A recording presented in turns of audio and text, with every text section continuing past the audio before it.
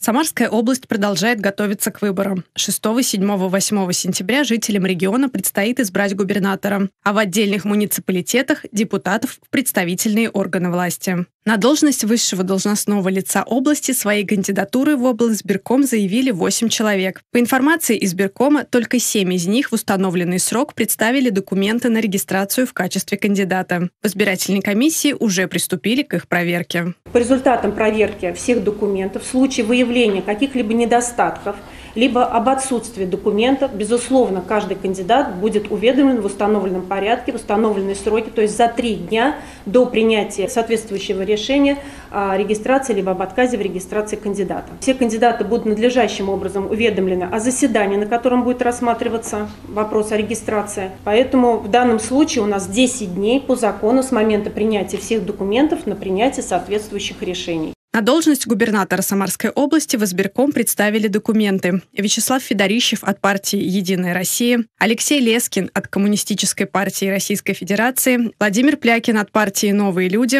Степан Соловьев от партии «Зеленая альтернатива», Михаил Маряхин от «Справедливой России. Патриоты за правду», Наталья Бесярина от ЛДПР «Либерально-демократическая партия России», Григорий Еремеев от Демократической партии России. Серьезных нарушений каких-то ситуаций, которые требуют вмешательства и разбирательства, пока не зафиксировано. Сегодняшний наш круглый стол, он является вот таким логическим продолжением соглашений, которые заключили общественные палаты и политические партии, и работа уже началась. Мы, естественно, смотрели э, и средства массовой информации, и блоги, и э, если кандидаты ведут какие-то личные социальные сети, мы всю информацию отсматриваем, аккумулируем, но в настоящее время ни один из кандидатов не заявил о каких-либо проблемах, которые у него возникли при э, процедуре выдвижения и регистрации. Одним из механизмов, обеспечивающих легитимность выборов, является муниципальный фильтр. Это подписи муниципальных депутатов, которые собираются в поддержку кандидата на должность губернатора. Такая практика появилась в Самарской области в 2012 году. Избирательная э, система на стадии выдвижения кандидатов, на той стадии, которую мы с вами обсуждаем, предполагает невозможность создания каких-либо барьеров для реализации гражданами возможности быть избранными.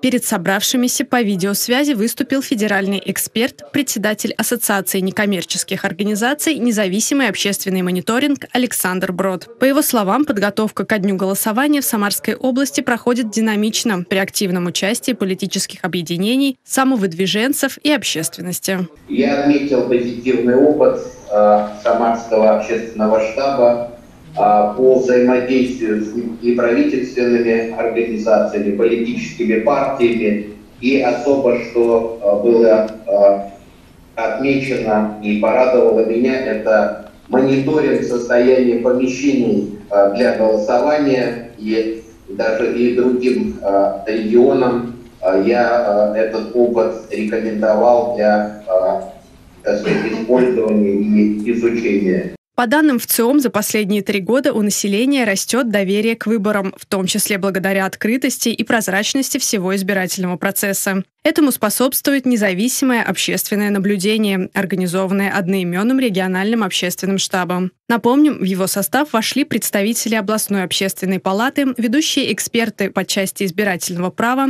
представители аппарата уполномоченного по правам человека Самарской области, представители средств массовой информации. Всего в составе штаба 15 человек, среди них и генеральный директор телеканала «Самара ГИС» Елена Кольцун.